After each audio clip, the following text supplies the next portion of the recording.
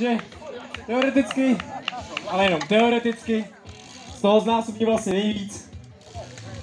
Ale on, my mu říkáme, že už je prostě starý a že je vlastně za Zenitem, tak ať se na to vysere, že jo.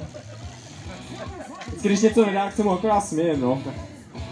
Ale on to bere, protože ví, že je to jenom hec. A strašně má rád, že vyjecujete i vy. On tam ukáže o to víc. Mimo jiné, Vlasta je náš největší skukan. Z nás dvou určitě, z nás tří taky. A... Wow, člověče, ten prostě sežene za to. No bacha.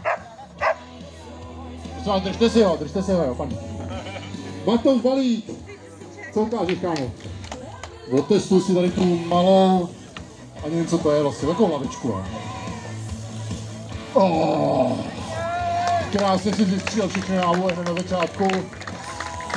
Mára Tyňar. Pojď, pojď, pojď. Do předního kola, do zadního kola. A teď na kol. Krásně. Krásně. Ale točíš to bez doteku. O tu lavičku bez doteku. No jenom si střední, hele. Já ti ukážu, očkej. Koukej, koukej, hele. Takový figo, já jsem se to naučil ve Větnamu tohle. Ty jsi chtěl zase machrovat, co? A jo. Já jsem to asi pochopil, jak to myslíš. Ale já myslím, že to umíš určitě líp než já.